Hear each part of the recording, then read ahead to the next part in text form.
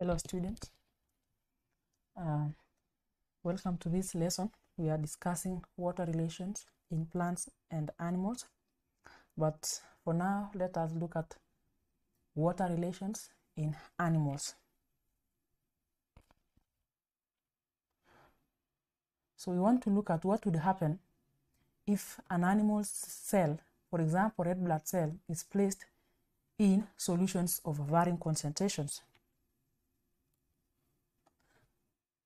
For instance, if a red blood cell is placed in hypotonic solution, for example, distilled water, what are uh, the observations?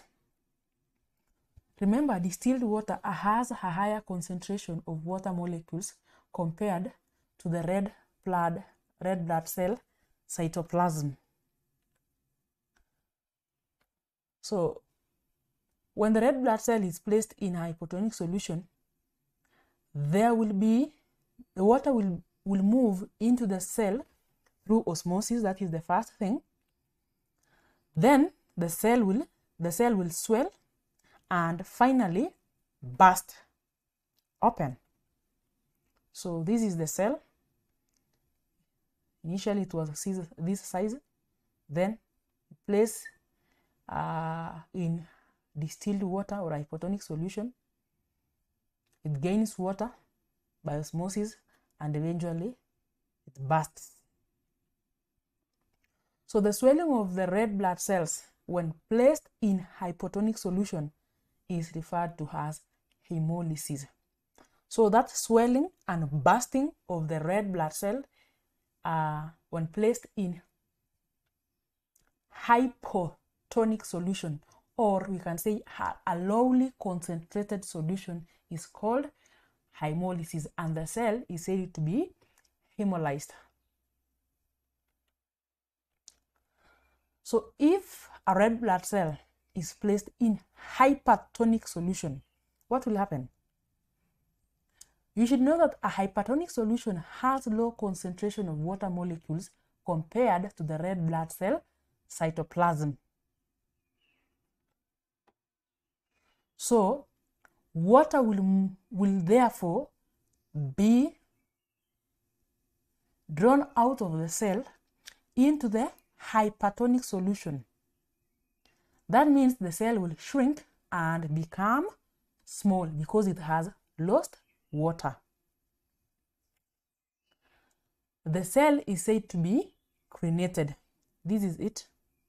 This is the red blood cell, initial size and shape then you place in a hypertonic solution that is a, a highly concentrated solution. For example sugar solution it loses water by osmosis uh, becomes uh, shrunk and it is said to be crenated.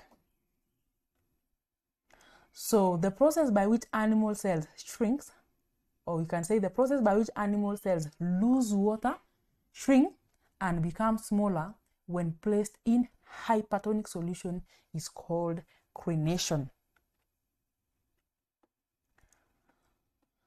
What will happen then if you place a red blood cell in isotonic solution? Do you remember what an isotonic solution is? So, we said isotonic solution has the same concentration as that of the cell. So when placed in an isotonic solution, the cell remains unchanged. Reason being, there will be no net inflow or outflow, outflow of water between the cell and the solution because of the concentrations being the same. When the cell becomes hemolyzed or crenated, its functioning is impaired. So a cell which has already busted or it has shrunk, then its function will be hampered. It will not function effectively. This means that the body fluids and blood plasma surrounding the cells must be kept at the same concentration as the animal cells for them to function effectively. That will prevent bursting or shrinking of the cells that would otherwise impair uh, or distract their physiology. The body has a way in which these concentrations are maintained at nearly the same concentrations. Now we know how uh, water or uh, how animal cells relate. We can now look at water relations in plants.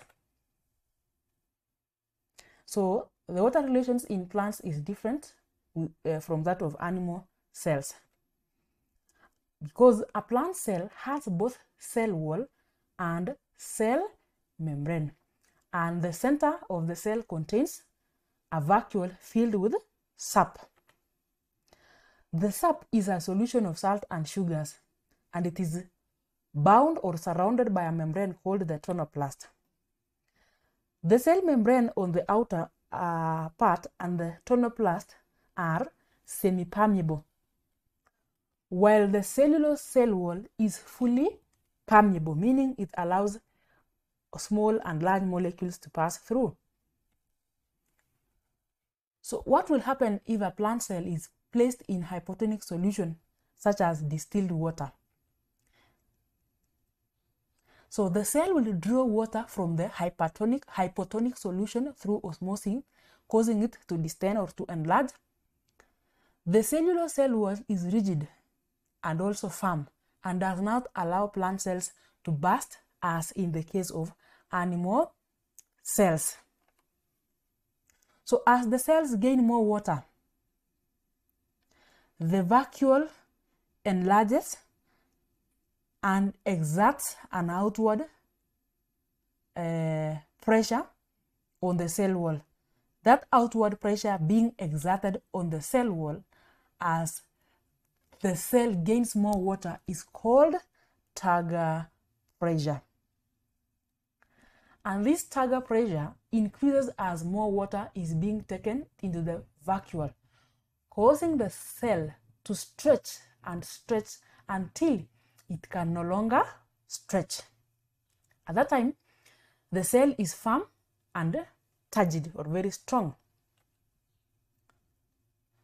So, turgor pressure is referred to as that outward pressure that the, the cell cytoplasm exerts on the cell wall as it gains water through the process of osmosis.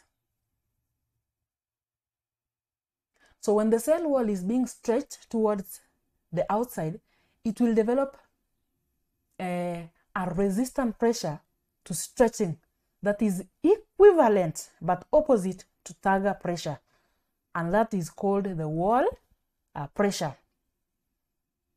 So the pressure that is developed uh, by the cell wall as it is being stretched towards the outside and uh, is equal and opposite to turgor pressure is referred to as wall pressure. Then, how about if we place a plant cell in hypertonic solution, for example, salt or sugar solution? When placed in hypertonic solution, the plant cell will lose water to the solution through osmosis, just like in an animal cell. As the water moves out of the cell, the cell starts to shrink, becomes less rigid or flabby, and, that, that, and, and such a cell is said to be flaccid. If the cell loses more water, its contents reduce in size, and the plasma membrane pulls away from the cell wall towards the center. So the process through which plant cells lose water, shrink, and become flaccid or less rigid is called plasmolysis. This process of plasmolysis can be reversed when the flaccid cell or the plasmolysed cell is placed in distilled water. That reversal is called plasmolysis. That means um, the, the flaccid cell will gain water uh, through osmosis and just becomes turgid. Uh -huh. This is it. So if you place the cell in a dilute solution, it just stretches, stretches, stretches toward the cell wall, uh, but will not burst. If you place in uh, a hypertonic solution,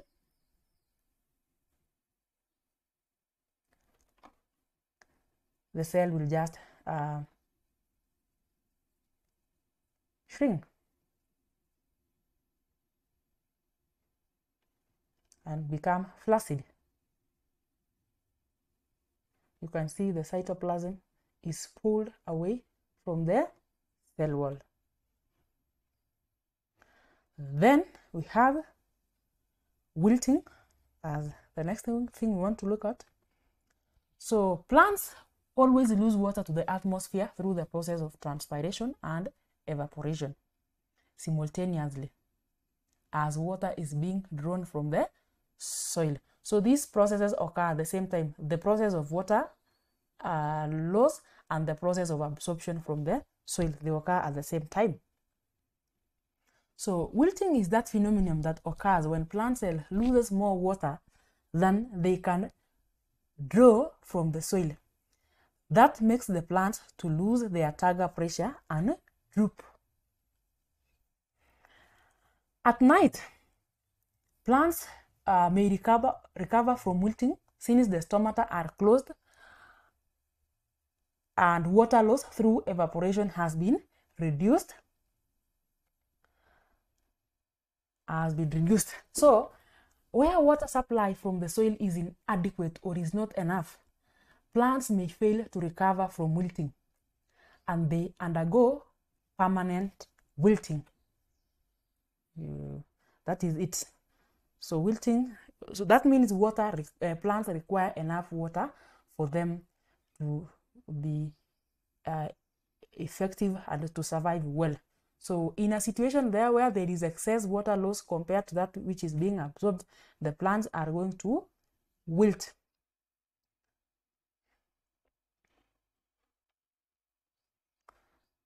And how is osmosis important to living organisms? First, it helps in absorption of water from the soil. The root hair cells of plants absorb water from the soil through the process of osmosis.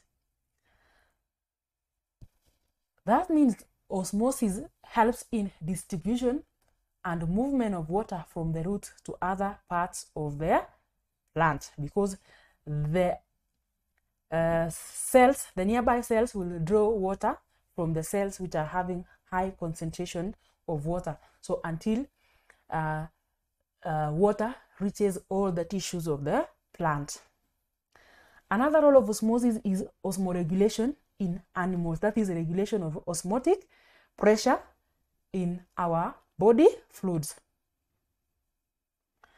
Then osmosis plays an important role is in uh, support in herbaceous plants and young seedlings. So these plants depend on water for turgidity. So when the cells of these plants take in water through osmosis, the cells becomes firm or rigid and thus they acquire their support. For example, uh, plants like uh, kales or uh, blackjack, those plants that have weak or non-woody stems, they depend on water for support. Uh, woody stems are like uh, the big trees like uh, cedar, eucalyptus. So they have tissues that offer support to them. But these other plants that have weak stems, they largely depend on water for support. Osmosis also plays a role in opening and closing of stomata of plants. Since guard cells surrounding the stomata uh, contain chloroplast, that means they will synthesize glucose through the photosynthesis in presence of light energy from the sun. So as the glucose accumulate in the guard cells, you expect the osmotic pressure to increase. That makes them to obtain water from the neighboring cells through the process of osmosis. So if these guard cells acquire water from the neighboring cells through osmosis, they become turgid. And as a result, they bulge or swell outside, outwards leading to opening of the stomata.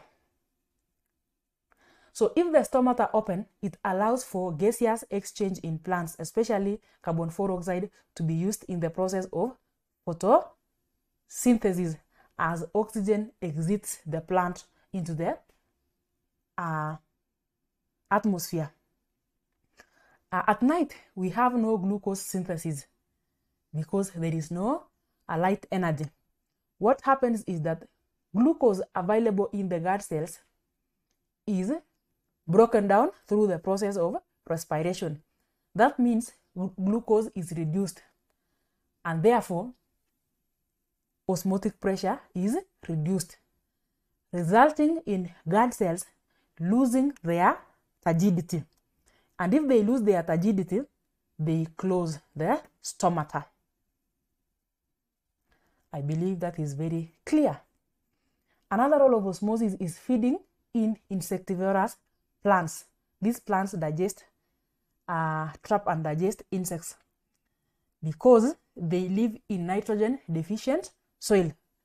So that means um, the soil in which they grow have little of nitrogen. So they have a way, they must have get a way of obtaining nitrogen. That is by trapping insects.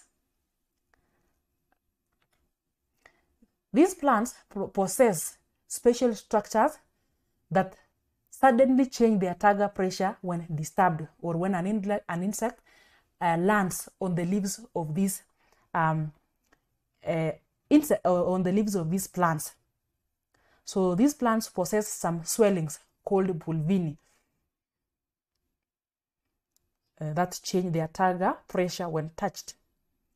The change in turgor pressure enables the special structures to rapidly close, therefore trapping the insects. And if the insects have been trapped, they are digested and they are able to obtain the nitrogen uh, or the, the, the, the nutrient which they were lacking. Another role of osmosis is osmoregulation in animals. In the kidney tubules of animals, water is withdrawn from the tubules into the body cells uh, through osmosis across the tubular walls. This enables animals to maintain osmotic uh, pressure of the body fluids. Now we know the roles of osmosis. You can be asked to discuss the role of osmosis in plants only.